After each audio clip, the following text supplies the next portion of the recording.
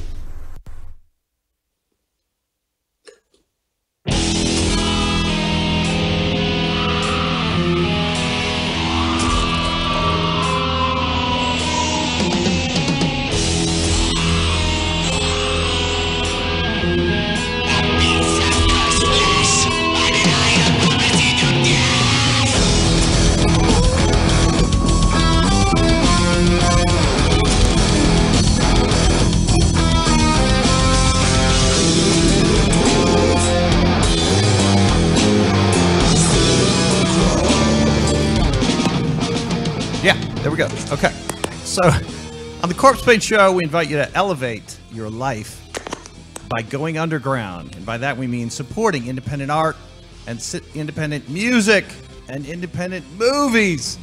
And to my right, I've got Becca Owen. Thank you for co hosting today, Becca. Hi, everybody. And to her right is is Darby Owen. Hi, Darby. Hello. Who'll be monitoring our chat room. Thank you very much. Our normal co-host is Janie Slash.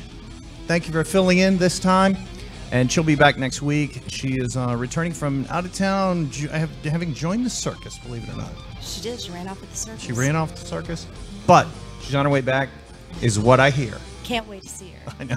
So, all right. A quick note that we've got a fellow musician in the Dallas area, Daron Beck from Pinkish Black, and we're showing his GoFundMe page right now. Consider going to this. It's GoFundMe and then Daron Beck, D A R O N.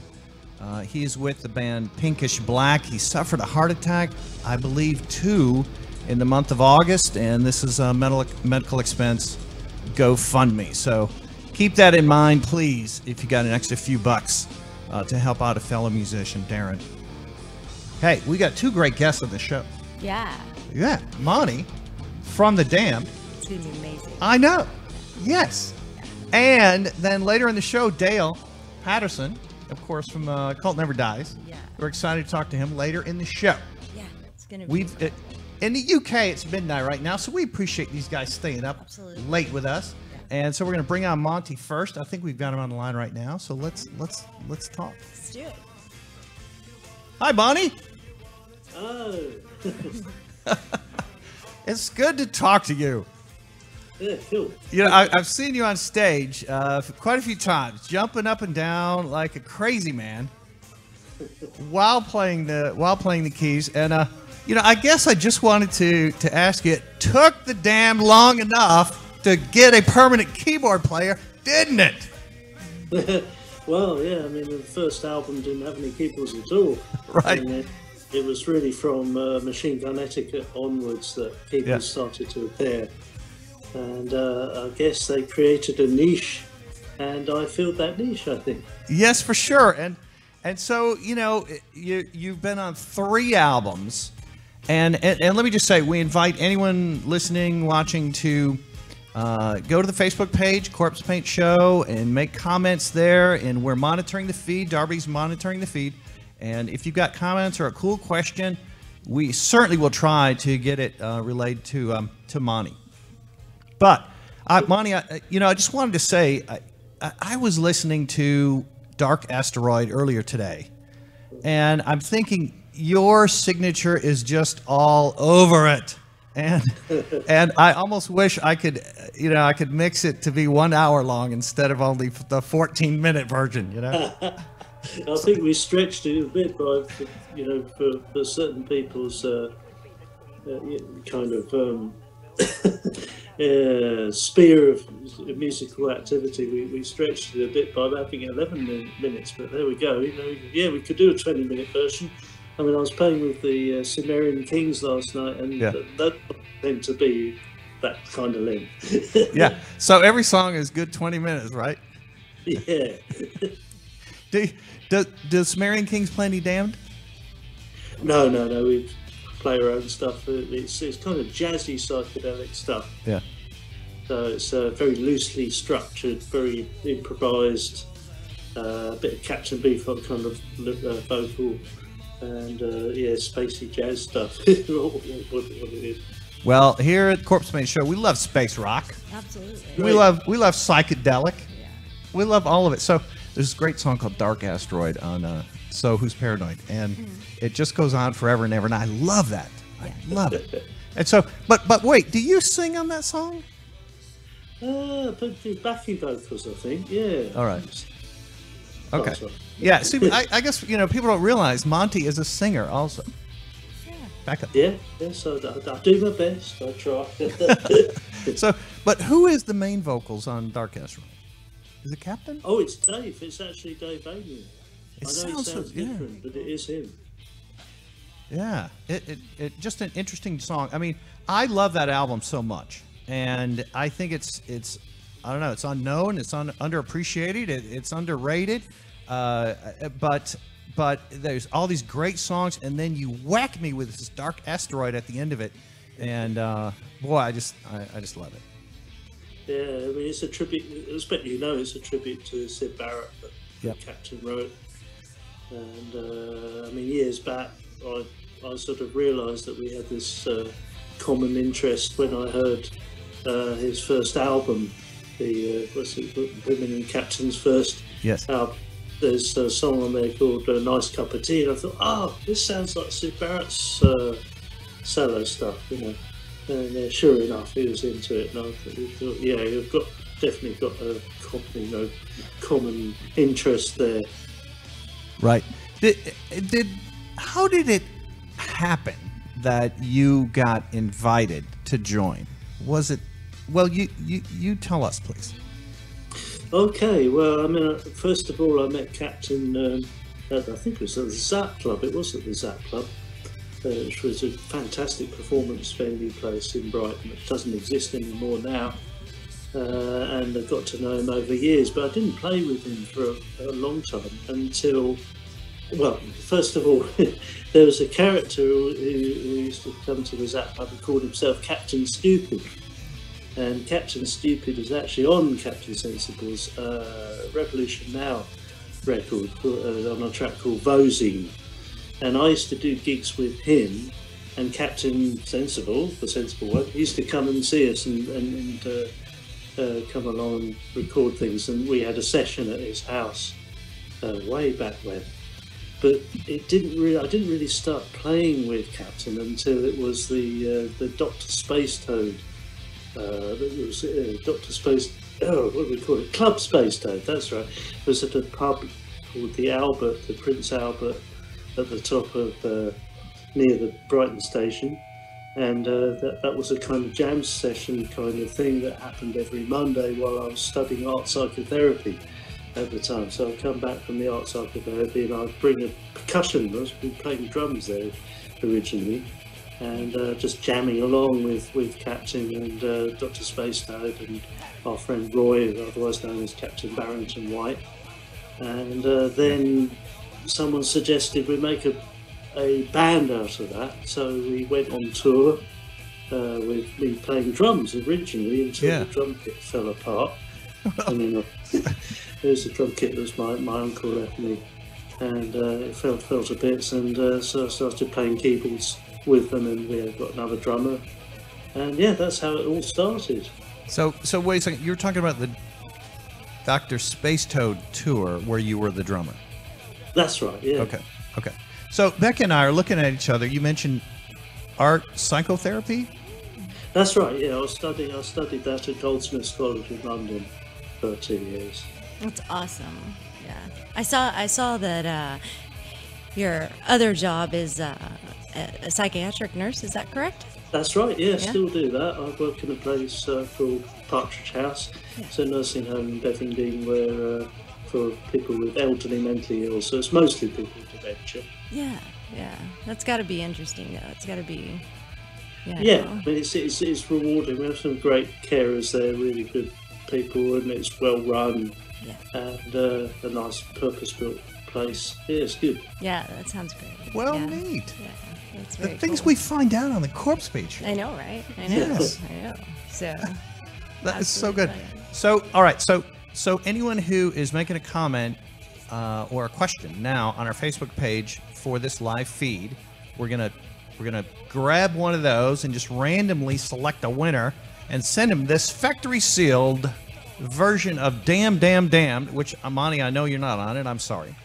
Uh, the- don't mind. I've got it in my collection. I was, I was listening to it back in the day. yeah, of course. Down to it in my bedroom. Now, as Becca and I know, whenever you travel through London, I don't know, it just seems every tube station has a poster of this Yeah. image on it. And I don't know, it's because there's a sale at HMV or something. I, I don't know. It's I don't even know if there is an HMV anymore. So um, um, I don't know, so iconic oh, this this cover. Yeah. Yeah, it is. So Monty, Monty's been on three studio albums, a couple of singles, and a, lots of live recordings. Yeah. And he's been with the band since about 96. Yeah. So shame on you, Damned fans, if you don't know Monty Oxymoron. I think they do by now.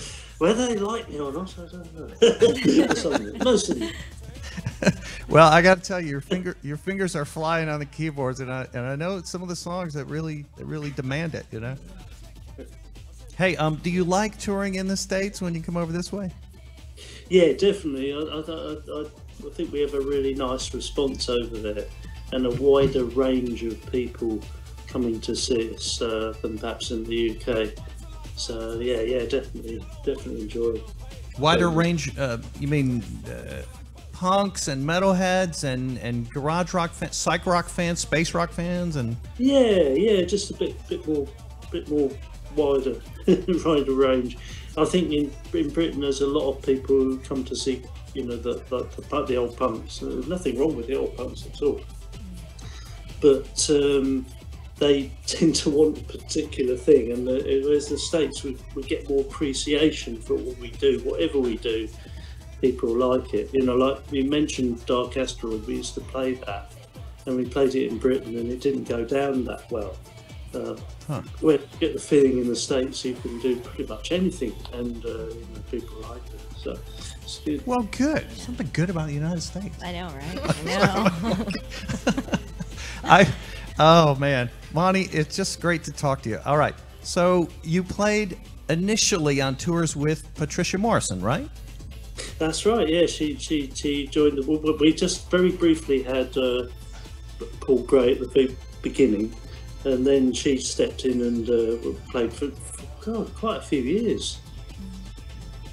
Hey, um, how, how is is Captain okay now? I, I, didn't he have some broken ribs after falling off off the stage? He did, and uh, we soldiered on. I mean, we, you know, when that happened, we thought, God, what's going to happen, or can we carry on or not? And he just after a few days, he said, Yeah, yeah, let's do it. And uh, so we we got him. he, he had to sit down to play, so we found him this uh, toilet.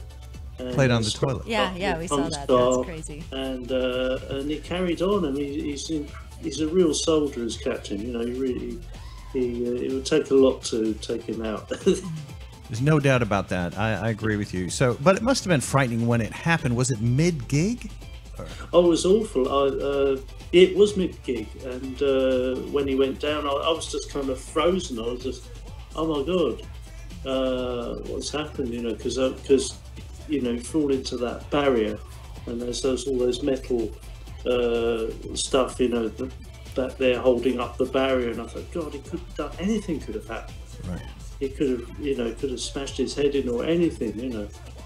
Uh, I was just, yeah, I was just thrown. I was in a freeze response. Not, not very proactive nursing, I'm afraid. But uh, there we go. A- And then you, you uh, obviously had to stop that gig and yeah, we did. Yeah, yeah. And he went to the hospital and stuff, and uh, Yeah. so they checked him out, and it was just the rib, rib but it must have bloody hurt and uh, difficult to sleep. it's, it's uh, got to be nothing bus, worse than a tour broken rib. bus, No. When you can't turn over because you've got this bloody, Yeah. you know, broken rib.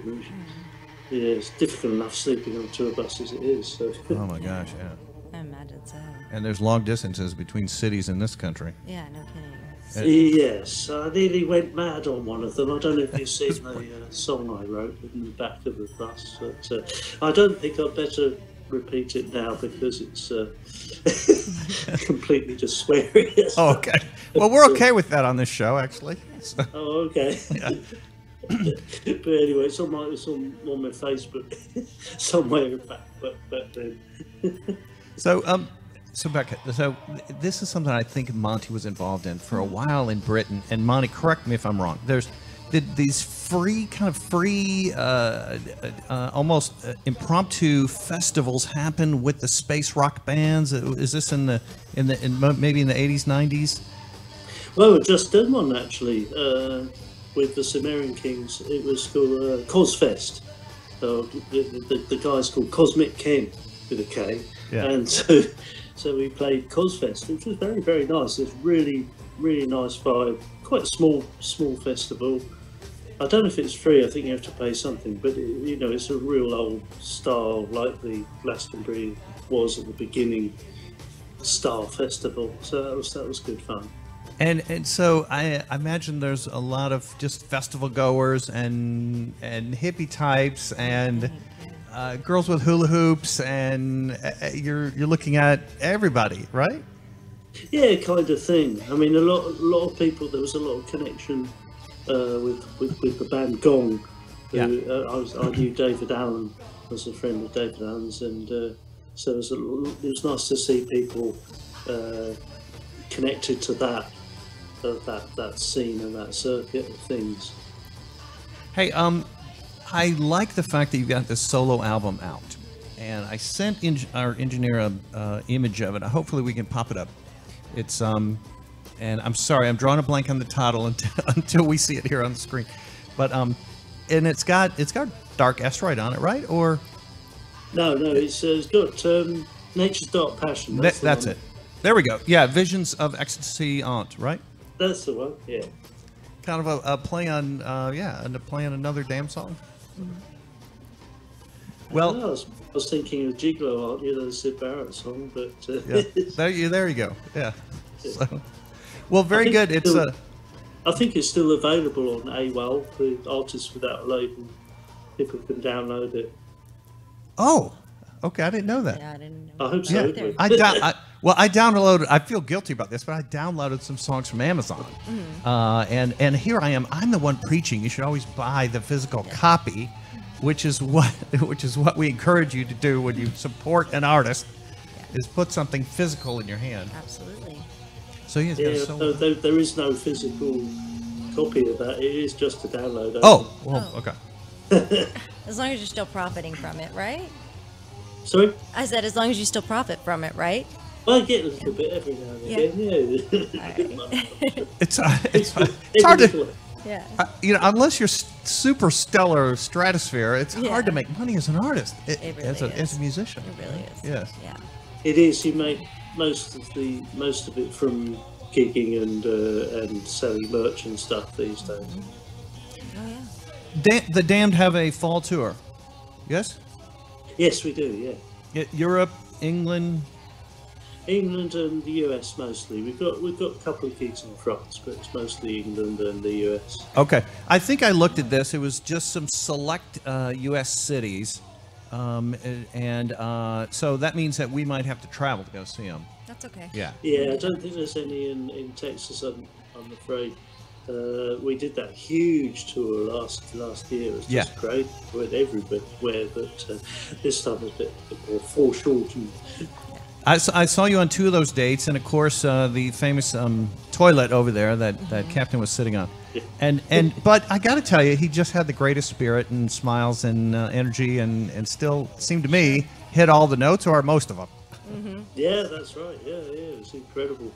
I mean, great D- Dave also uh, Right. hurt his shoulder. He dislocated his shoulder at one gig on that tour as well. So, uh, so everybody was getting injuries except me. I don't think I had any. How, well, is how's Dave then? oh, he's all right. Yeah. Good. All right. All right. Good. And and so great having Paul Gray back. yes, yeah. I think he's an incredible player.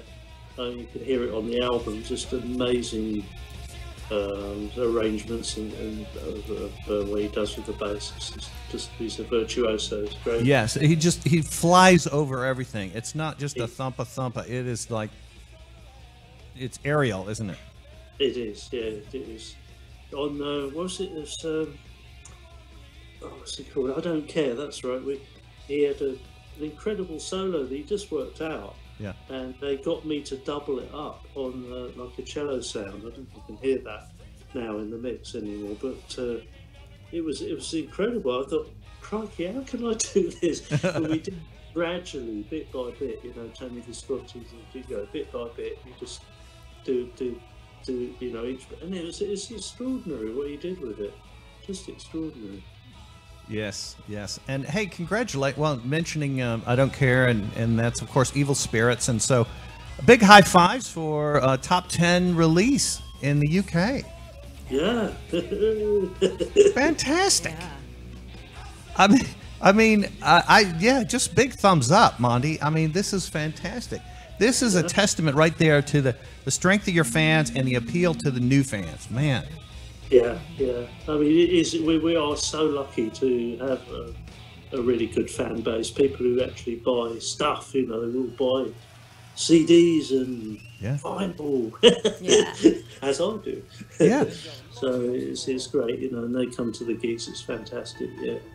Yes, indeed. And uh, there's so many groups online of damned fans and and and support groups like that. So lots Yeah. of them. Yeah. Lots of different groups. It is, and it's and it's a wide age range too, which is really nice. You know, it's hard for you and your kid to like the same band. You know, But you could with yeah, the Damned, but you yeah. can with the damned, and it's really Yeah. cool. So it's really cool. Well, I think I think things have changed. I think it's become less tribal and uh, sort of exclusivist like it used to be in the old days. I think people can explore different kinds of music. You know, it's possible to be like rock and jazz and classical and anything you want these days. It's not so fixed.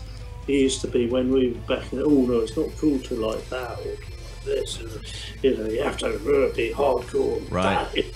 Right. And for- I think fortunately it's not so bad these days. Yeah, good. But yeah, I've always thought of the Damned that way. It, it just seemed you guys you guys were never and and the early band was never tribalist. And so Dave loved garage and he had that even that Elvis period, I think, you know? And of course of course Captain likes what you like and that is the psychedelic Syd Barrett. And uh, and then and then Rat, he was more into glam.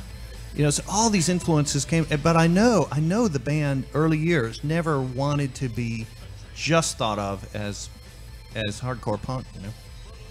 Hey, so no, what- that point, re- hadn't formed. Nobody really knew what it was. It was well, I mean, I suppose they knew there was a connection with the Stooges and the MC5 and that kind of music, yeah, but it wasn't a formed genre. It was all new and different, and um, you know, people were playing around with it and doing different things. It was As a it very should be. interesting period.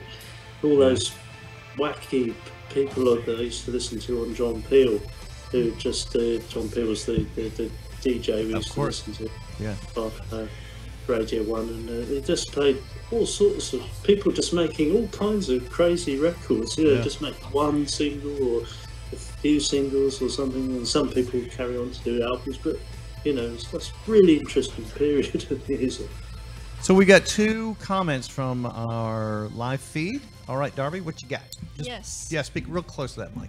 Um, our first question is Has he ever played Grimly Fiendish live? Yeah, yeah, we played that. Yeah, quite a few times.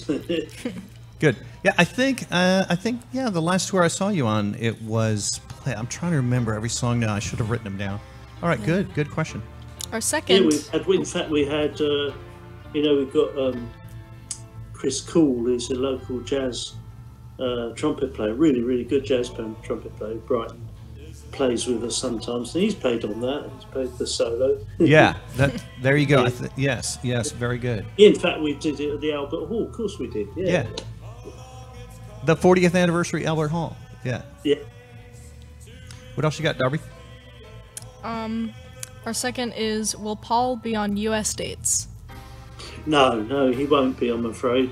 he's uh, got he, has got a very good job with the musicians union, and he's reluctant to give that up because it's got um, it's got um, you know pension and everything. It's a real proper job, mm-hmm. and he, I mean, he, as it is, he's trying to double juggle two jobs at the same time when he's playing with us in the UK, doing stuff online for them. So, no, so, so, so obviously we'll get Patricia back, right? Oh, I don't know. I think I think she might have had enough. okay. so that was a great question. I didn't know. So no Paul on U.S. dates. Oh, dang. Oh well. Okay. But we've our, our friend our friend uh, John Priestley is is he's great bass player. And he was, he was a very good singer as well. So he can give, give, give some backing vocals. He he'll be doing those gigs. Right on. All right. All right. Yeah. Good. Good. Uh, hey, Monique, So I started the all damned radio station. Well. and it's, so it's called All Direction, Damned All Directions. And uh, so it, it includes uh, your solo work and all the members' solo work and side projects and and all of all of that stuff. So and obviously there's a lot there. So um, if you've got any of the outtakes from uh, from from Evil Spirits, just go ahead and send them to me, and uh, and we'll see if we can put them on air. I'm just kidding.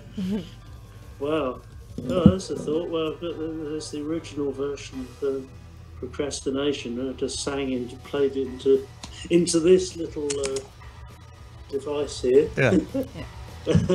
well, see, I think I think I read that you went into the studio with 20, 20 songs, and uh, the record has ten on them. So I'm thinking to myself I went to college, so that means there's 10 left. And so where are those? they're brew- they're brewing in the There are some there are some yeah, there's definitely some stuff left over. I mean, some of them were not finished that were like kind of um, musical ideas. Yeah. Certainly Dave had a lot of those. He had a lot of um, almost sound like film soundtrack ideas that uh, that were there. And then there are some, some other songs as well. That, another one Pinch did, and yeah. one I did, and there's sort of various things.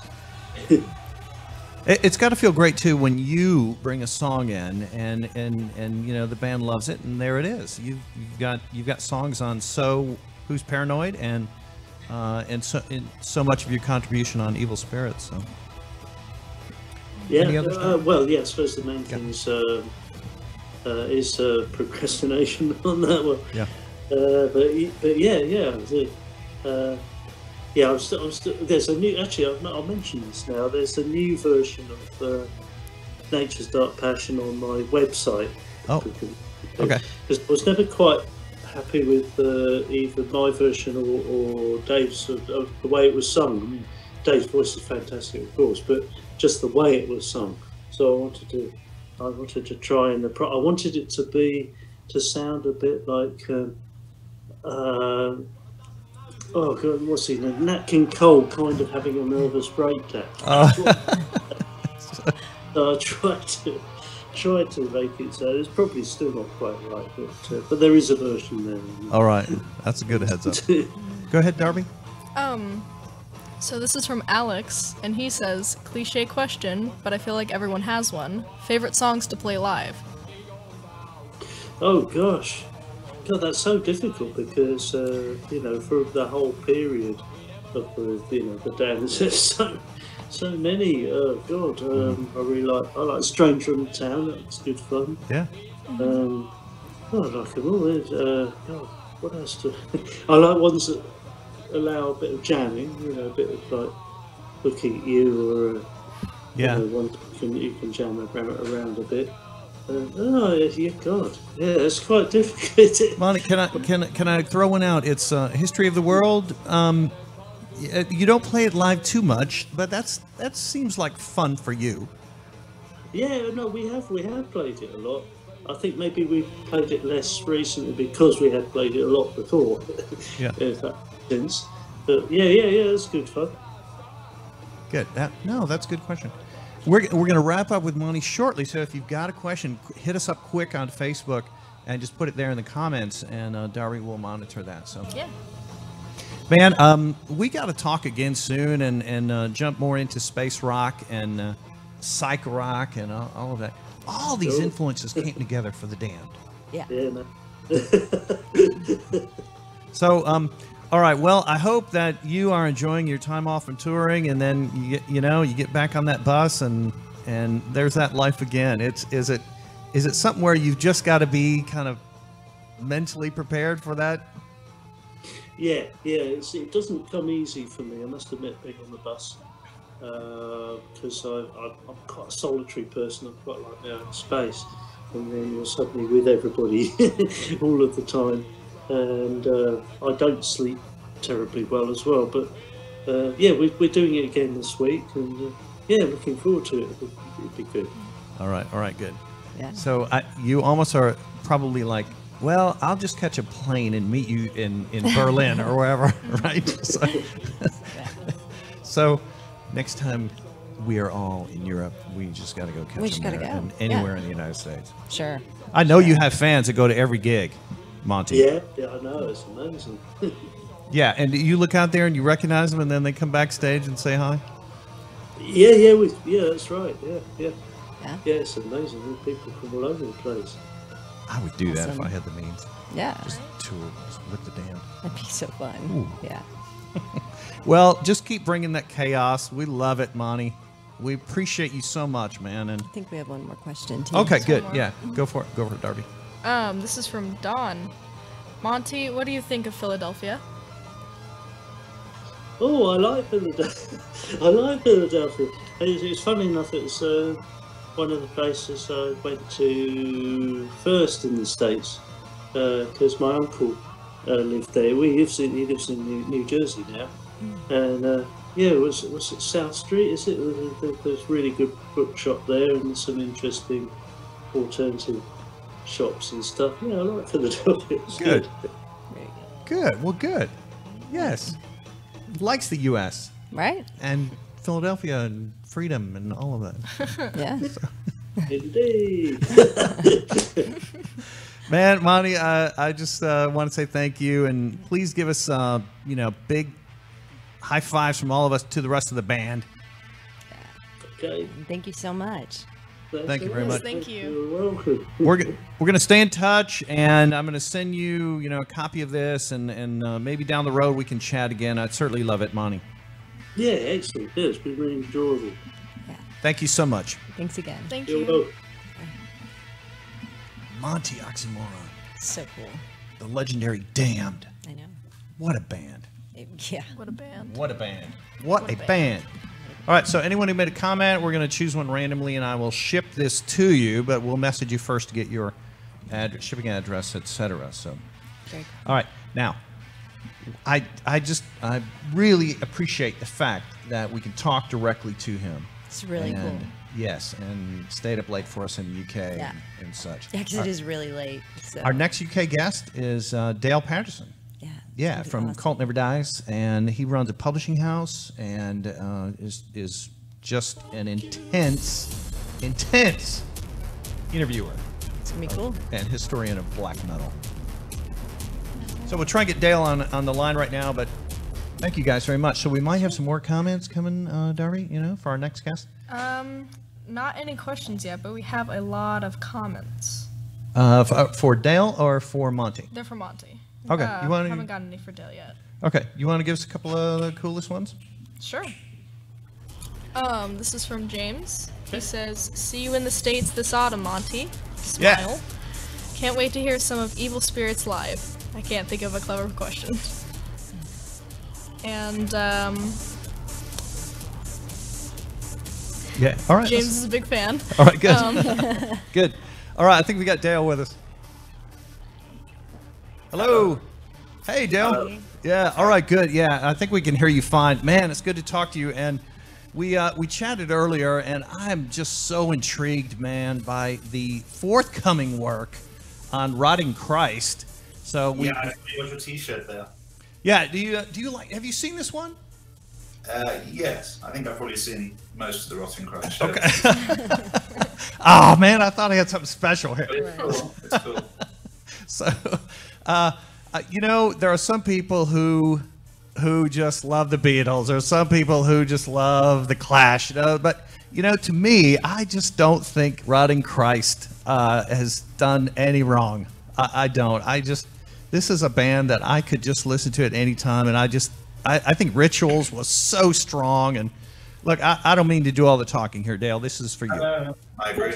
I think actually it's interesting you had the Damned on, uh, or Monty from the Damned, because I think uh, that's a band that always evolved and kind of um, they kept the quality but, but changed their style. And uh, Rotting Christ are, are a sim, you know, as a sort of a black metal uh, example of that, where you, where you can change your style and, and uh, keep surprising people, but but always sort of maintain a level of quality. So Yeah. it seemed to. And, and I get the impression you like you sort of like black metal that's sometimes uh, pushing the envelope of what black metal could really be, uh, whether it be ambient or slightly um, industrial or, or, or, or gothic, right? Yeah, I think uh, what makes black metal what it is is the fact that it has these two kind of very different but uh, complementing sides to it.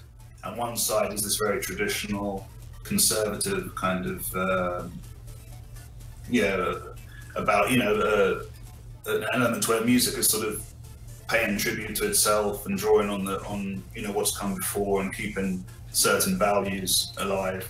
And the other side is in black metal is that you have this very uh, envelope pushing kind of experimental, uh, revolutionary side, and I think that's what makes black metal what it is because both you know keep keep each other in tow in a way.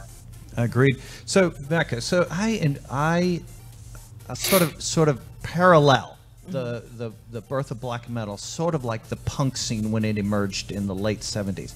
It was it was a, a stunning example of what extreme art could be. Right. And um, and to me, equally as exciting as when I first experienced punk because it was it was threatening, it was dangerous, unpredictable, dark. I- Yeah. I, I loved all that. And so, Cult Never Dies is his publishing house, Right. writing this great book about uh, forthcoming Mm-hmm. uh, about um, uh, rotting Christ and. The, the other band, which it seems like Sakis is just so prolific, is um, Thou Art Lord. And, and I think a lot of metalheads over here don't know about them. I mean, it's always been a kind of side project. So I think it, it doesn't have anywhere near as you know high profile as Rotting Christ. Um, so I mean, it's a great band, but it's definitely for everyone involved. It's a side thing. So we do talk about the band in the new book, and it's uh, you know obviously if you're into Rotting Christ, then it makes a lot of sense to check out that all. You got to check them out. Did did Sakis and Themis, if I'm pronoun- pronouncing it right, get arrested recently for security concerns? in Georgia this year. Yeah, they were arrested. I think it was April um, on suspected terrorism charges. So that was kind of uh, exciting addition to the touring experience. I guess. So simply because they're in a band called Rotting Christ, or or somebody didn't like the way they looked, or a bit of that, but there was also the people had kind of reported that these guys were coming, the, the Themis brothers, and that these were you know Satanists, uh, possibly terrorists. And Georgia is obviously a very conservative country, yeah. so there was a degree that somebody had kind of warned the, the officials at the uh, the I guess the airport and also the I guess the I don't know the justice system or, or someone in that. But they were it was it was just those two members that were arrested. So it was they somebody had sort of singled out these Themis brothers as being sort of potentially you know dangerous to the, in, to them or to their values perhaps. But I mean, what a- what uh, how awful it must have been uh, a night, a night in jail, I think, right? And then and then finally they kind of make it out. Yeah, they were lucky in a way that uh, and it's obviously something we talk about in the book as well. But social media has sort of had a, or the internet had an aspect to play um, in their favour because the other members were able to kind of contact people and let them know what was happening and cause enough of an outcry that they, you know, would, would be freed. Um, but obviously, with a name like that, they've had a lot of problems. I mean, when they when they came to America for the first time, uh, there were attempts to stop them coming. Um, there was, there was a Republican, uh, uh, a guy that was standing for office. Uh, he, he made a big statement against them, and yeah, so it, it, it's it's it's not anything new, but probably Georgia's a bit more extreme than some of the countries. See, uh, so I want to hear the conversation of the, the Greek embassy, you know, um, making the phone call. Hey, our guys, they're in rotting Christ, but you need to let them free. So- Yeah, I think I think there was uh, there was also a degree of uh, protest from within Georgia itself. I think people who are not even necessarily interested in metal or necessarily interested in black metal kind of came out in their, their defense because it was a sort of freedom of speech issue. Gotcha. So again, that was something which was mobilised, I think, by social media, by the internet. Um, so you wonder what would have happened 20 years ago if this had happened, because Right. yeah, it was a, it was a different different world. So is it fair to say Rotting Christ is uh, 30 year anniversary this year? So they first came out in 1988. Um, they were a grindcore band at that point, uh, very different to what we see now, but still, you know, two of the two of the three members are still in the band. Obviously, Sakis and Themis. Um, so yeah, this, this, that was part of the reason for doing this book, really, because it's the 30 year anniversary, and that seemed like a sort of apt time to to look back at all the things that happened. So the title is Non Serviam, Yes, right? Which is um, Latin for "I will not serve," which is apparently what Satan said to to to God. Right. So I love that. Yeah, yeah. It's, it's also the band's second full length album. Right. So it Yeah. the- it kind of pays tribute to that as well. Uh, but yeah, it's um, I Will Not Serve, which I guess that kind of sums up the, the spirit of the band, really, and hopefully black metal in general. Yeah. So along that same line, okay, can I bring up Dave Mustaine? This is probably a, a part in your book, right? So Yeah. I, I don't know. I have no respect for him. I don't. I don't. And here he is trying to make trouble at a festival because one of the other bands playing at the festival is called Rotting Christ.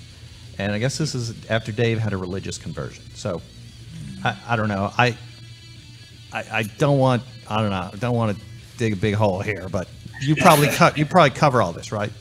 It, yes, I, yeah. I mean, I think it, it's a shame because obviously Megadeth was a very important band in metal, especially up to sort of mid '90s or early '90s. Um, but yeah, I don't think it was a particularly.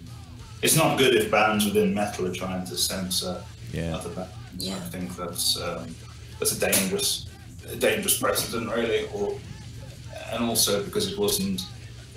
I can understand if it was a, a show of his band. I think then you have some rights to say who, who will support you. But it was a festival, Yeah.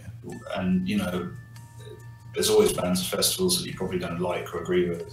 Um, and you know, Stryper play gigs with, with you know, where there's um, satanic bands on, on the lineup. So so I don't think it's not really endorsing a band to have them on the same on the same festival. You just have to sort Yeah. of get over that a bit. I mean, Tom Araya is supposed to be Catholic, and you know, Yeah. it throws up a lot of questions. All that. It does. I know. I'm, I'm baffled too. you and I ponder the same things at night. You know, they keep us awake. So, Yeah. hey, can I mention two movies? Okay, because we love movies here too. Okay. And one of them, of course, uh, no one is excited about, and that is probably the trash heap that Lords of Chaos is going to be. And I've heard everything that Necrobutcher has said that you know that they're not participating and that don't support it. And um, I think I think Jordan's come around a little bit since Okay. he made those statements. The last time I spoke to him, he said he didn't seem so angry about about the film. all right, Um, but obviously, black metal fans in general are still quite annoyed. I'm not totally sure what's going on with that film because it, it seemed to disappear a bit after it was in the cinemas. I don't know if they're waiting for a Netflix. You know, it, it doesn't seem to get a wide cinematic release. So, It- oh, is it out? well, it's been. I know people that have seen it. Okay. So it's been finished, hmm. but I don't think it was shown at any mainstream cinemas yet. I think it's just been film festivals and premiere, you know, sort of special events and things. So I, I don't quite know what what the future for that film is. All right. And um, so we've got a chat room that is on the Facebook page where this live feed is. We are live feed. So if you got comments right now, you can talk, you know, to throw them out to us, or perhaps a question for Dayal, um, and we'll we'll select it and and, uh, and and chat about it. So um, so type it in. All right, the other movie would be Curse of Valburga. I'm very excited about, and Nicholas seems to be energetic about this. Man, I'd love to talk to him some more about it. We love extreme horror, and that's what it appears to be. Right, it's a Slovenian director, I think, if I remember right. Even better.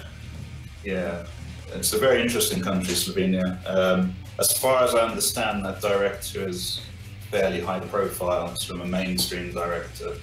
So doing a film with Nicholas and Adam from Behemoth is, I think, a little bit unexpected. Um, Yeah. But I don't know about that film, so I can't really offer much. Okay, okay. So uh, back to Sakis. Uh, the uh, I don't know. He's he's like I, I believe mid forties now. So he, I'm thinking about this. He must have started the band when he was 16 or something, and I'm thinking, way to go. Yeah, I mean, most of those guys, most of the black metal and uh, extreme metal bands from the 80s and early 90s were teenagers when they formed. And um, I was thinking about that actually. I was talking to someone about that in the pub the other night. It's kind of curious how in the 80s and 90s, most of the really important black and death metal bands, and maybe metal bands in general, were in their teenage years or early 20s.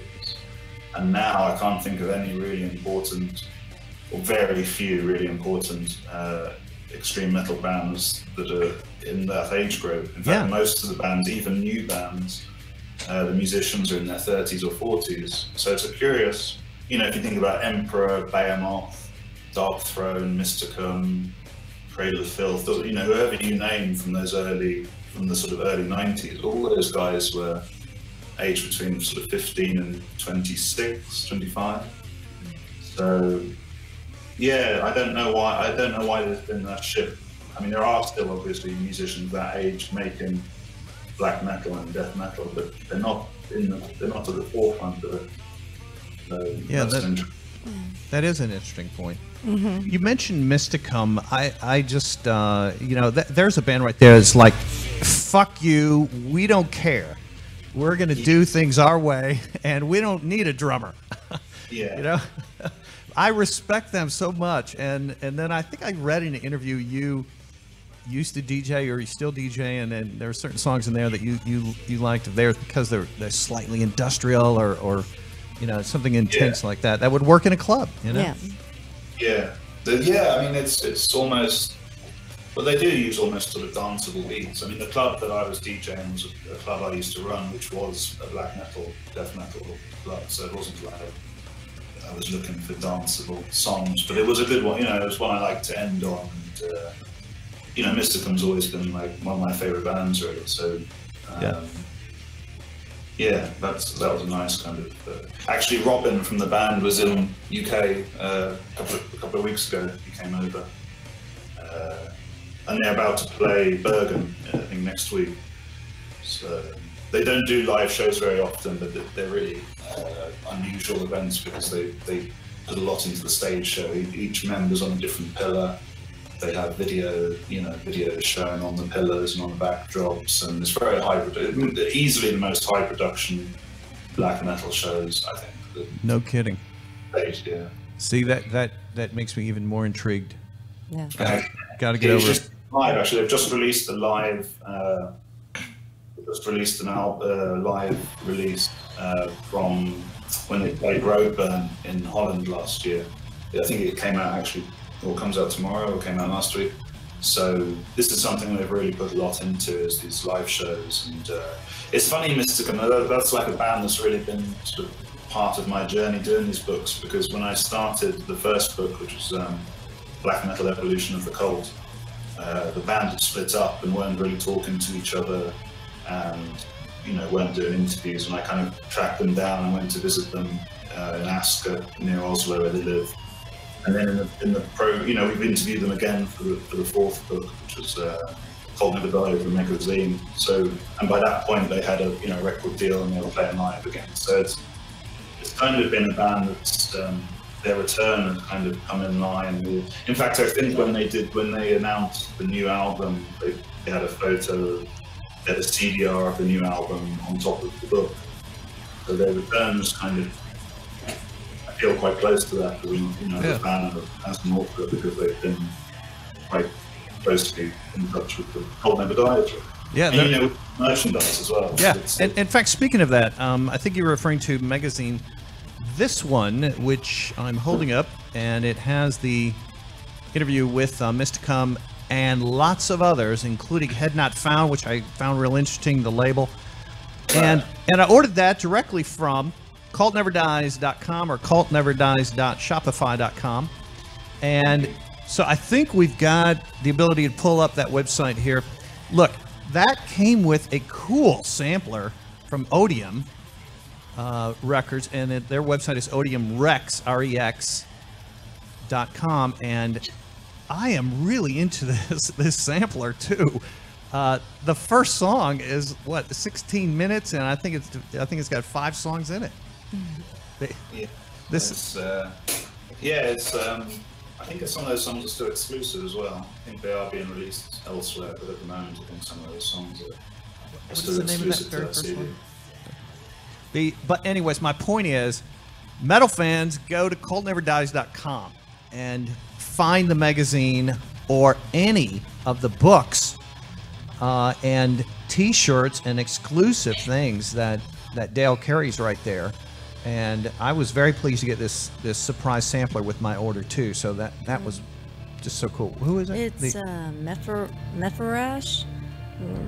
Rippion, the tree of Asaya putrescent. that was the first first track. Yeah. that's the first track. Uh, All of them on there are good. 1557 Rights of Nullification album. Perfect. So, I didn't know anything about that band, but now I do. yeah. Good But- band. Good. the um, when you're when you're talking to a an extreme metal band and they're so into black metal that they want to just release things in say Norwegian, um, or Portuguese or what have you. You know, is that is that kind of something that that is respected, or is it, just kind of saying, hey, we don't care about publicity, we don't care about putting something out in English. I mean, that's always been part of black metal. Really, is um, from the very start. You know, bands would release uh, releases in their own language and even have their names, you know, in their own language. Um, and you saw that a lot with uh, Norway and Sweden, especially those bands would have, you know, Norwegian lyrics, uh, Swedish lyrics. And actually, I was talking to Sakis, funnily enough, to go back to, to Rotting Christ. I was talking to him on Thursday about that, and he was saying because he's very into languages, really enjoys learning languages. And you know, he was saying if English isn't your mother tongue, then it doesn't make any more. It, it doesn't make any more sense to sing it in kind of English than it does French or Latin or you know. It, So I think there's an element of you don't. I mean, you sing in English if you're not English because you want more people to understand it. Yeah.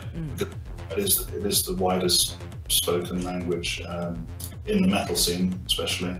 Uh, but I think it's it's always been sort of understood that you can can sort of um, you can justify singing something in your in your own language. And I mean, it has to be said.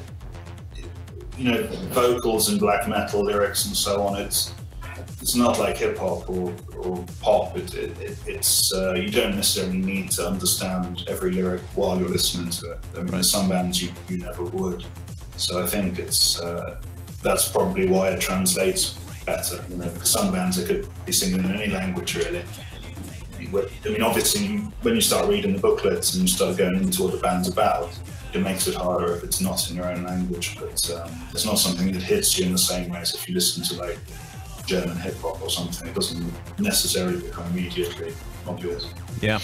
Do, do you get over to the states sometimes? Uh, I have been, yeah. I don't, I don't.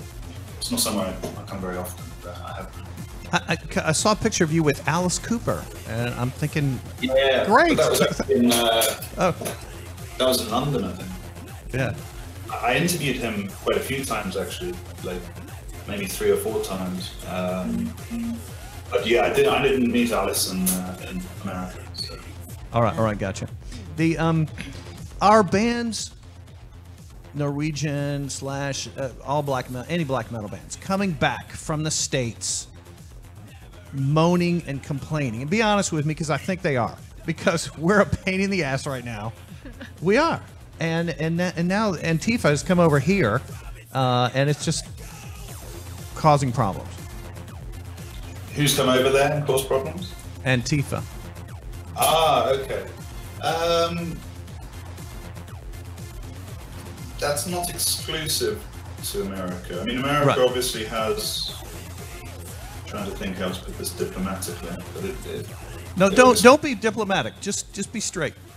Well, there's obviously a lot of, you know, division in, in your society um, compared to a lot of other places, and um, I guess that impacts. You know, you, things are quite polarized with politics. You know, people tend to um, jump to the left or the right in America. I think, uh, and, and things become about sort of right and wrong and left and right, and, and some of the subtleties get a bit lost. And I think, and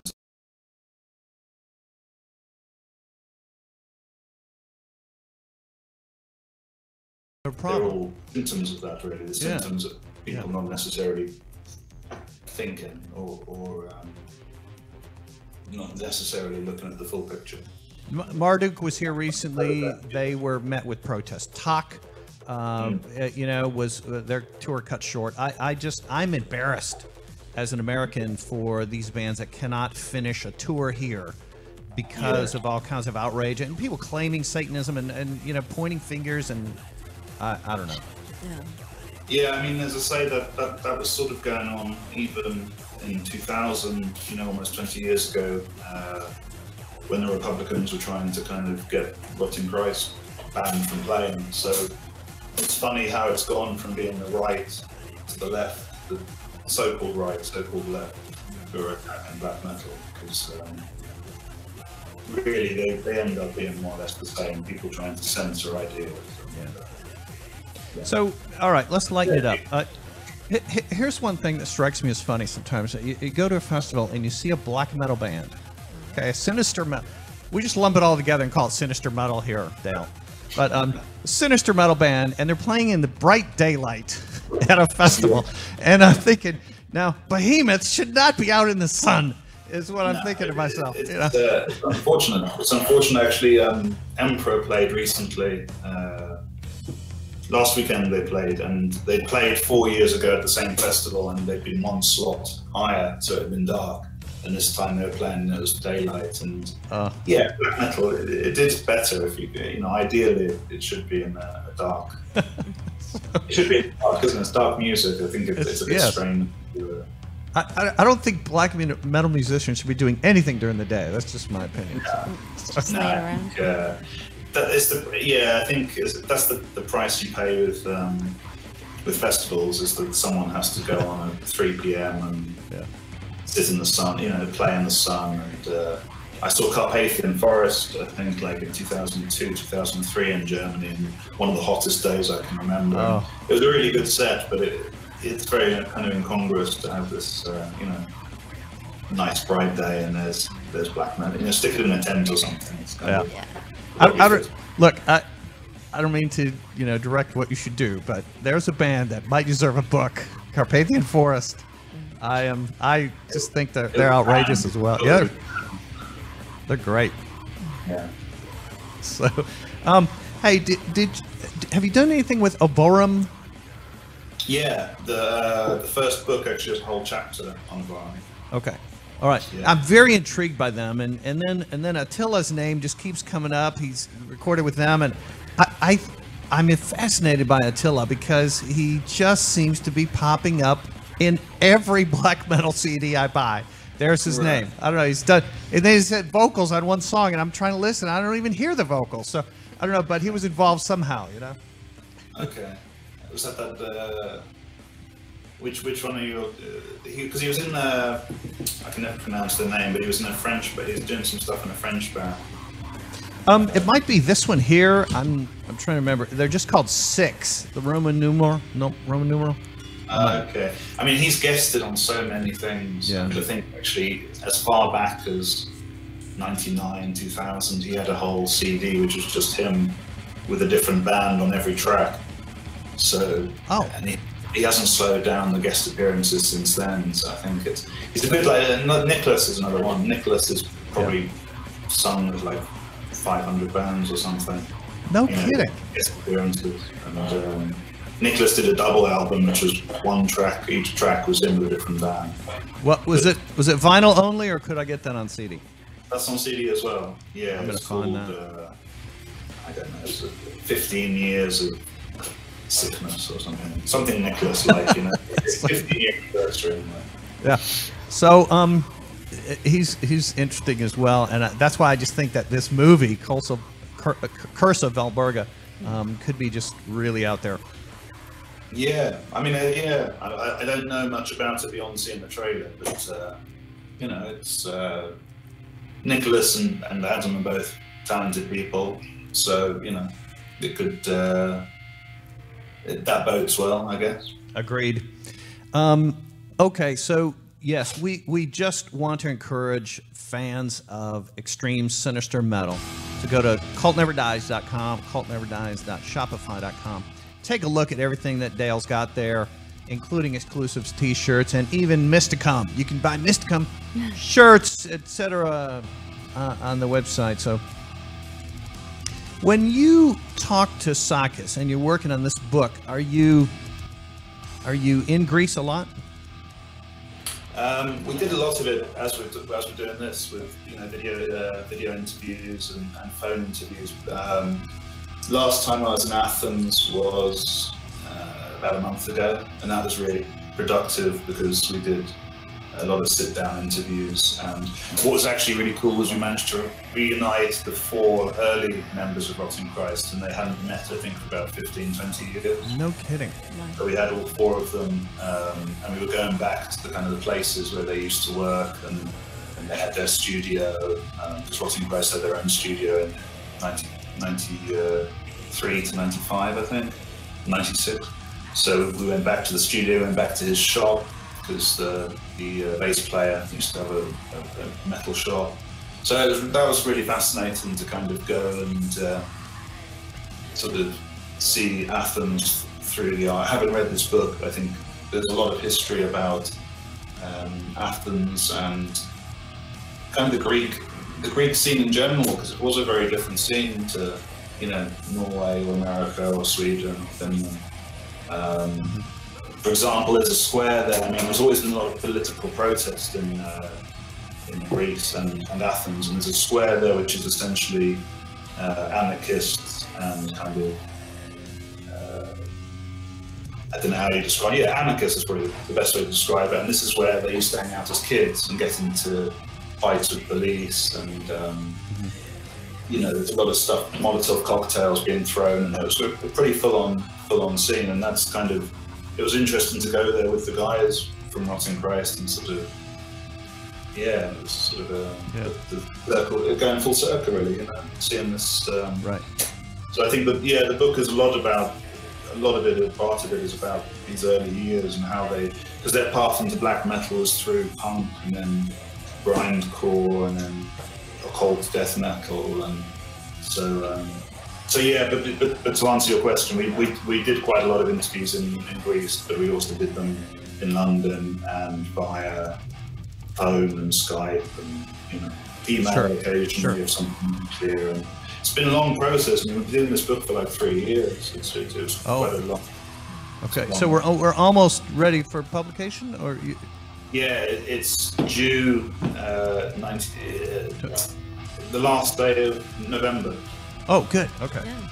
November, yeah. So Dayal is, is known as the interviewer of these bands who can really dig deep and get them to open their soul, their black soul, Right. to him.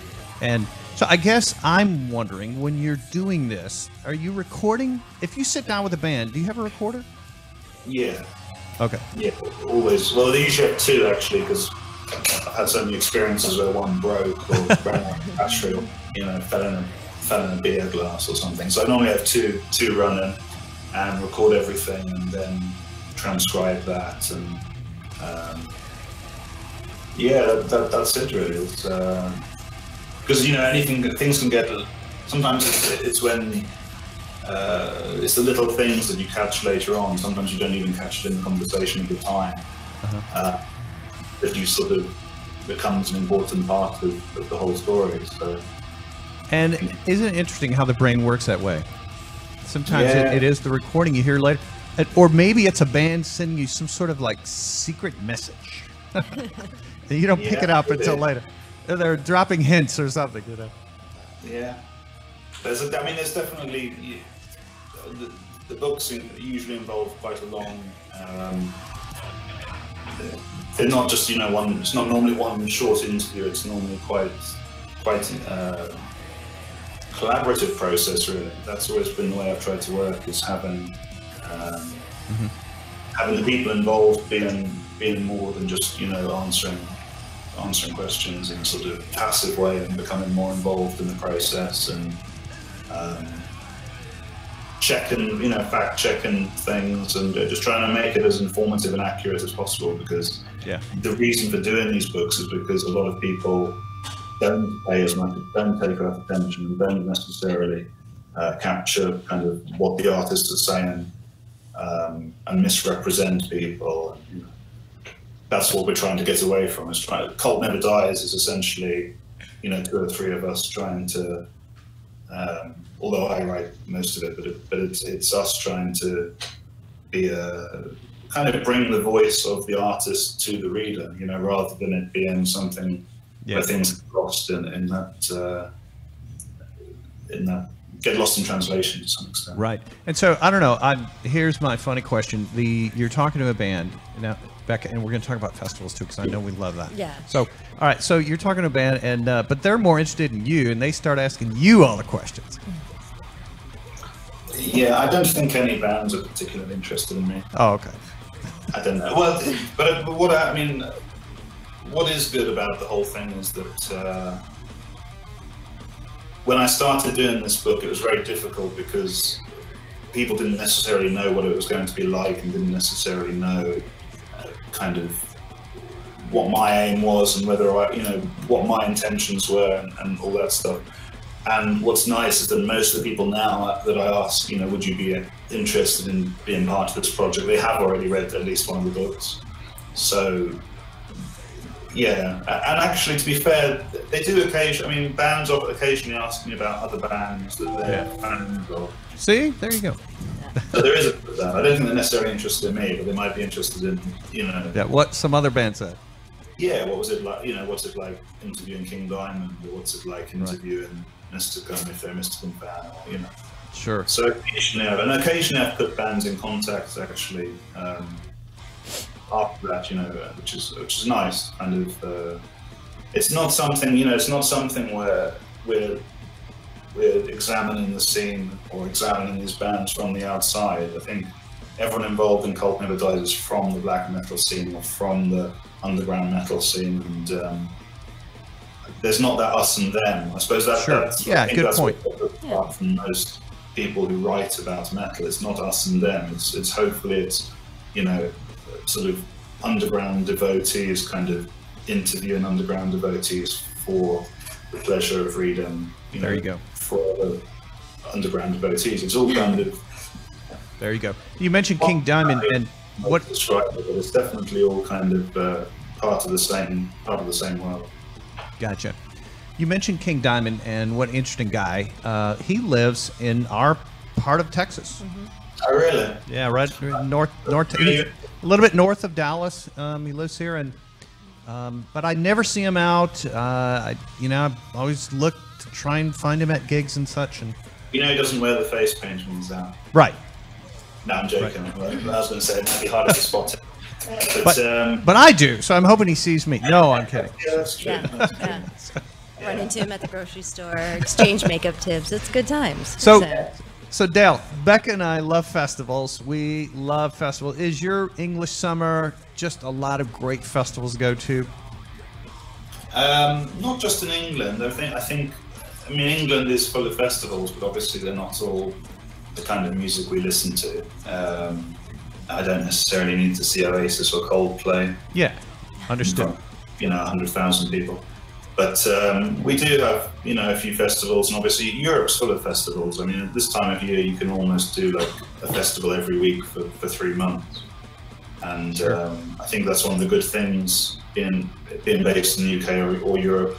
Whether the UK is in Europe is debatable, but you can kind of, you know, you can hop. Like we went to, we did a talk, a couple of talks with Mortiis at a festival in Lithuania uh, about a month ago, and you know, that's relatively easy to get to from the UK, and then we went to Estonia and Latvia, and um, yeah, there's there's a lot of festivals in Europe, but I wouldn't say necessarily the UK. We have probably two or three metal festivals, and then uh, that's about it.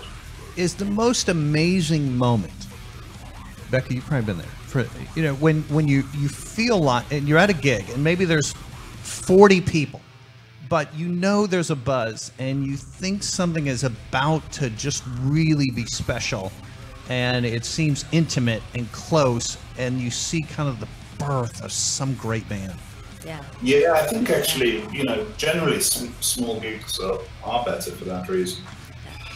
Um, yeah, I always loved club shows. I actually went to one. Uh, you mentioned Texas. I went to one uh, to the Dirty Dog. yes in austin Yeah, yeah, yeah, I quite like that place. I I went. Uh, yeah yeah, but yeah, I think small clubs is always. Um, it's always the most exciting. You know, you see these sort of fresh, fresh bands, and uh, yeah, that's that's uh, a nice part of, of going to live gigs. You know, it's a band that was maybe a support band ends up being something bigger down the line or something kind of uh, you sort of see them at an early stage. Yeah. Uh, for example, there was I think when Behemoth first played London, they were the first support of maybe six bands. I think they were supporting Deicide. It was Deicide, Ancient Rites, um, Rotting Christ, and a couple more, and then Behemoth first. And now, if Behemoth, you know, playing London, they, they would be a headline, easily the headline act for, Sure. any, for any kind of black metal gig. That's the way I feel about Rotting Christ. And, um, you know, when they were here last, it was them, and then Watain, and then Mayhem. Now, nothing wrong with that. What a great package. But I wanted to hear more songs from Rotting Christ, really. Yeah, I think Rotting Christ never had a huge following in the States. Actually, that tour was really good for them. Um, and they did do a good tour with Belphegor and Immolation in, I don't know, 2007, I think. Um, but the States has been a bit of a challenge for them to break. So I think that's Sure. whereas Watain and Mayhem, obviously, Mayhem have the history, and Watain seem to be massive in, in the States. I think uh, maybe the biggest. I don't, I don't know. You probably know better than me, but it feels like that's the biggest black metal band for American audiences. Yeah, I think so. And Behemoth as well. Um, uh, Okay. and, and Mayhem. Yeah. Yeah.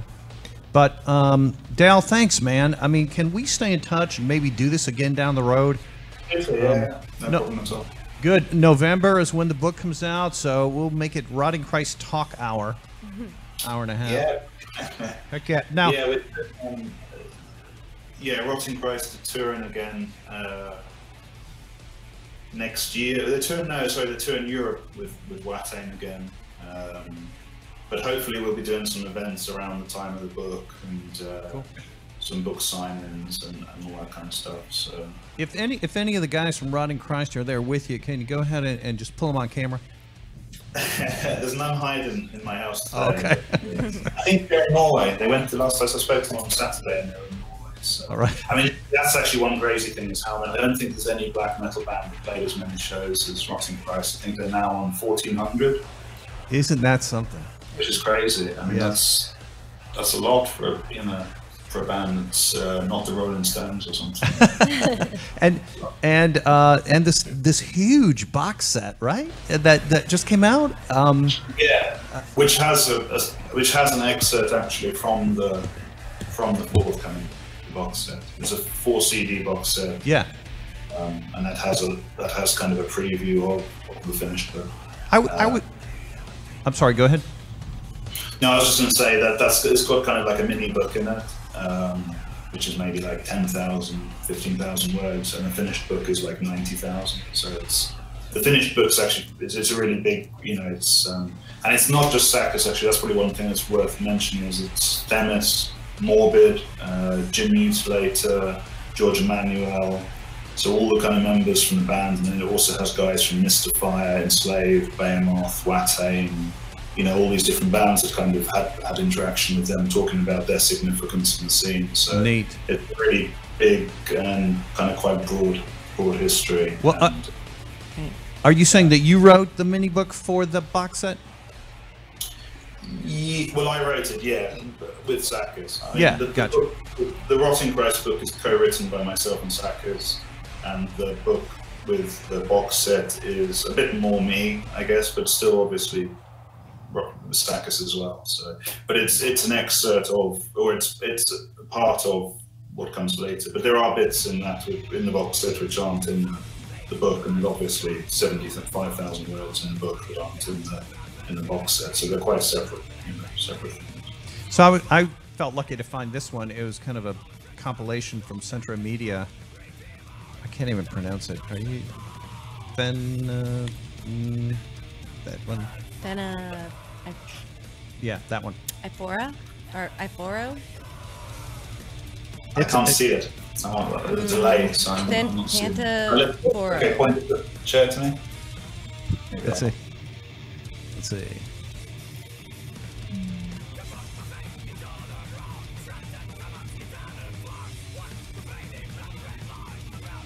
Sanatorio. It's it's a it was their Century Media compilation, and it's got some cool demo songs on it that I Okay. knew were. Oh yeah, yeah. Okay, I remember that. Uh, yeah, That- I, I, I don't have much to say. really. I think it's, yeah, it's just a compilation or something. I think it was after they left Century Media and joined Season of Mist. Right. And this was kind of like a compilation of their stuff.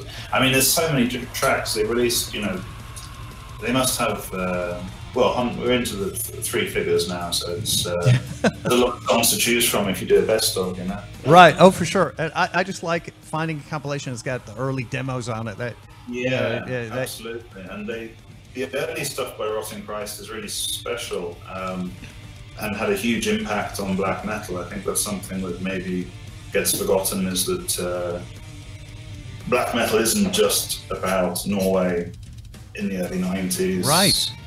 You know, there are a lot of people who think that is the only black metal, that's the only true black metal, that that's what kind of formed black metal. But you know, Rotting Christ were there from 89. I mean, they formed in 88, but from 89 they were making black metal. And, um, I mean, I wasn't listening to black metal at 89, but it was definitely, a, it was always there as, as, a, as a legitimate but, but very different interpretation of black metal. And they kind of created this Greek sound and bands like Necromantia and yeah. uh, Varathron, and you know there, were lots of other really good bands as well. But, but Rotting Christ was like the gateway band for a lot of people to discover uh, Mediterranean um, black metal. So Right. Agreed. Like the T-shirt you're wearing, Necromantia. Right. Right. Yeah. Yeah. Another great, Greek- another great Greek band. Great, great band. Dayal, thank you so much, man. Appreciate it, and we are going to stay in touch. And um, man, want to hear more about when when it actually comes out, and let's just stay in touch on everything going on. I, I really appreciate you kind of joining forces with us here, and and uh, I, I just hope that we can consider you a friend and, and talk again. Yeah. Thank you so much for the time and uh, the interest in what we're doing because. Uh, yeah, it's nice to it's nice that uh, to know we're reaching people. You are, and we want more American uh, metalheads to know all about your site and, and your works. Yeah. And actually, you know what? Our biggest, more American readers read our books than any other country. So we have connected. And, uh, you know, that that's like this is, the statistics from our store is that more Americans read our books than anywhere else. So. Well, we're pushing black metal on this show. Maybe, maybe you know. yeah, maybe gonna- it's up to me. Yeah, maybe it's down to you. Thank you, Dayal. Thank you so much, Thank man. you. We'll Cheers, talk. man. Cheers. We'll talk to you soon. Have a good Thank night. you. Cheers, Thank man. Oh, so cool. That Okay, so I know we went on some off roads there and got into these, you know, these crazy black metal bands and all that, which I love. So, but we, we were talking about festival experiences, Yeah. and I, I know you love doing that, and uh, and it, it's just so fun. So in Europe and England, Mm. it's they take advantage of the summer months, Yeah. which are short, Yeah. that have some sunshine, and uh, do all these outdoor fests. you know, so- Absolutely. I would too. Heck yeah. Yeah. And some of them are extreme, Oh, I'm sure. dangerous, in the woods, crazy, with extreme black metal. All right. So what uh, what comments do we have, or anything anything going on, Darby? Um, we have one comment that says Mustaine's a douche. Okay. Um, Yay. if he dislikes Rotting Christ, then Right. they must be worth checking out. Oh, okay. All right. And then I, uh, if anybody is curious, I put the links to Cult Never Dies, Yay. uh, Thanks. just the regular website and the Shopify in the chat. Yeah. Okay. Now, um, I know we're going to indulge a little bit here. You are an uber Roman, uh, Ramones fan. Yeah. And um, Darby's got the Ramon shirt. Uh, and so, and Janie Slash got you that cool vintage I know, button. I know. It's so cool. So A cool. rocket to Russia, which Yeah, must have been in the it's 70s. It was uh, I think on the button it says 1977. So Just like Ramones coming along and blessing the doors off of rock and roll, this is how I feel that the Damned did it with Monty on our show, and how black metal did it. You know, when it was born in the early '90s, mid '90s, Yeah. and and and such. And I think anytime there's a big shift in uh, talk close to me. oh, in in music in general, if anytime there's there's something new, there's a big shift. You know what I'm saying? I think it's gonna blow you away. You know, doesn't matter what the genre is. You know, when somebody does something that's amazing and new, it's gonna you're gonna be somebody's gonna be wowed, and right? crazy, Yeah, and dangerous, and different, and, and, and fun. It And has to be fun. You're right. it has to be fun. Dayal mentioned dance beats. Yeah. He, ra- he you know, he, he DJ'd a club. Mm-hmm. You know, so No, if it's not fun. People don't keep interest, you know. So if they don't walk away going, "Oh man, that was amazing, that was so fun," then they don't, you know, they don't want to come back and do it again. So hey, guess what? gotta be fun. There's a cool uh, horror movie out. Mm-hmm. It was filmed here in Dallas. It's called The Littlest Reich, and it's Puppet Master. Mm-hmm. Puppet Master. And so I think we should just show it Yeah. and then talk about it. All right. And it's out right now. I think you can get it right now on iTunes. There you but go. But also at theater, All right. I think. Yeah. Very cool.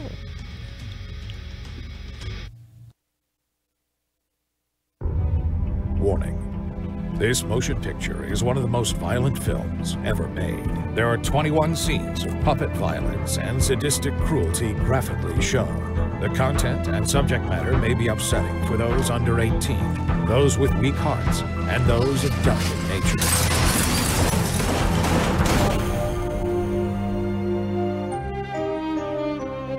This cellar workshop is where Andre Toulon manufactured puppets. It is unclear how many of these puppets were made, though 60 or so of them are expected to be in Postville by tomorrow for the auction. That's not mine. I Don't really know how that got here. Maybe it walked. Hello. Jesus. Well, you definitely seem like a toy that a maniac would make.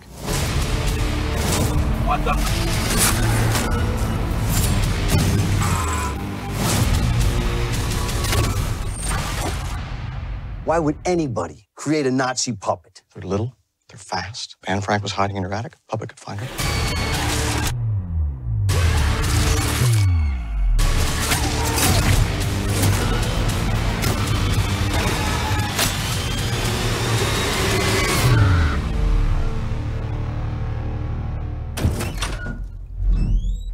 Don't ask.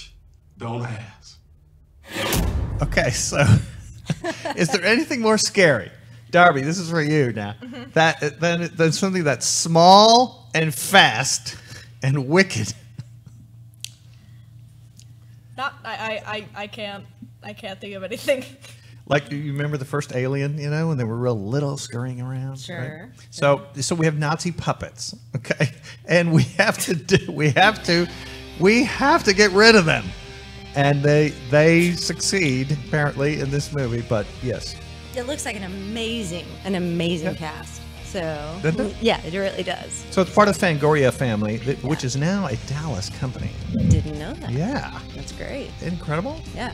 And the pr- production team also made Bone Tomahawk, which you may Mm-hmm. have seen on Netflix, and The Meg, that big big mega shark movie. Yeah. Yeah. Megalodon. Yeah. Yeah. Have you seen it? I, uh, I've seen trailers. The Meg. Yeah. So, anyway, same team. So there it is. Puppet Master getting a lot of uh, I don't know talk and attention right now. So Yeah. we like those extreme stuff. Absolutely. Yeah. Absolutely. And nothing's creepier than dolls and puppets. Come on. Right. I mean, Yeah, look at our table. Yeah. That's why we do it. Yeah. Hey, we have a company that is our partner. They're called Mm-hmm. Corpse Factory, and they work with Corpse Paint Show us. Mm-hmm. Right. And they actually have a lot of cool shit on their website, corpsefactory.com. There it is right there. You should check this out Should. because Darby needs all this. Darby needs all this. No way. You don't think so? Um, Becca needs all this. Oh, okay. Yeah. Sorry. I mean, maybe a Look, couple of Cre- things. they got Creechville. They've got different different styles and brands. Great and brand. Great brand. You want to go to corpsefactory.com Mm-hmm. for all your cool horror related clothing items Right. and other stuff. Swag. You got to. All the swag. All the swag. Did you enjoy being on our humble little show? Absolutely. Good. I, I know fun. that some of those discussions were craziness and and you know maybe down the road you come back Sure. we'll do some fun stuff Yeah. and next week Janie Slash will be back in the studio Wait. you're gonna watch in sports show Super missed her. Yes. Yeah. I know. So, almost three weeks going oh, I know. I know. yeah Sucks. So. Darby anything else cool on uh, chat and all that besides Dave Mustaine being a douche I Um, think maybe they should advertise like that. Dave Yeah. Mustaine's a douche, so you Dot com. check us out. Yeah. yeah. It's a new website. No, um, well, people are going to be mad about that. Look, we don't want to make personal attacks. Yeah, We're yeah. just saying that we felt he was out of line with some comments he made at that festival. And we did a not make the comment. Oh, that was from There's Ziggy. that, All right. yeah. Ziggy, you got to say hi to us, man. We want to see you. Look at that friendly face. Takes care of us. Appreciate you so much, man. What a great show we've had. Yeah. Dayal It's been super Patterson. Yeah. Fuck yeah. Yeah. Very cool guy. And the legendary Dan right here. Yeah. It was amazing. Next time they're in Dallas, we want them in this studio. Yeah. You know? That would be so cool. Do a little acoustic set. Yeah. Oh yeah. Yeah. That'd be. Like that would happen. Yeah. You know what? You can always dream. It's I know. Uh, we're trying to build a brand. Yeah, that's cool. Corpse Paint brand. So yeah. Yeah. Darby, you back at school? yeah. And you like slash hate it, right? Uh, Let's put it that way. yeah, gotcha. I like your glasses. Thank you. They're Very badass. I Thank like them a lot. Yeah. She kind of looks like Harry Potter, but it's all right. yeah. Kind of cool. Kinda cool. cool. It's an aesthetic. Sort of a nod, you know. Ziggy, what else we got to cover? Did I, I send you some pictures? Oh, events coming up at Gas Monkey. Ah. God, Ogre's going to be here on the of stuff. 27th, which is week from Monday, if I have that right. So Ogre, the uh, Ogre show at Gas Monkey is going to be badass. All right, we're hoping to have Ogre as a guest No. coming up. Yeah, That'd be incredible. like next weekend. wow. Um, we're hoping. They're trying to work that out. No promises here. I think John just wet himself. Okay, good. Yeah. so- totally cool. Now, uh, there's the alarm. That's fucking tonight Wow. at Gas Monkey. You know that song, "Rescue Me," Rain in Mhm. the Summertime, all those good things. Yeah. That's uh, that's the alarm tonight. Ogre, there it is, August 27th.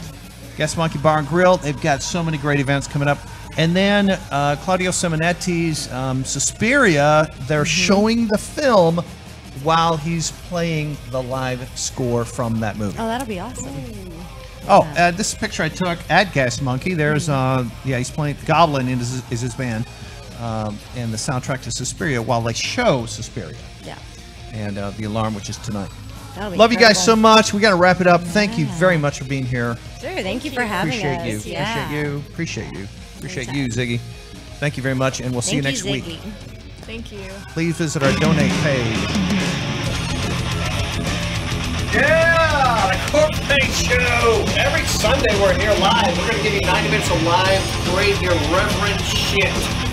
and also just talk about Satan and talk about movies and talk about metal and talk about Janie Slash's uh, weekly dose of horror. Yeah, Texas Frightmare Weekend. I am here with Dee Wallace. Don't just don't stare at my boobs the time. Sure. I do get comments from occasionally religious fanatics. I've seen people stopping down who uh, want to wag their finger at me for a ring night.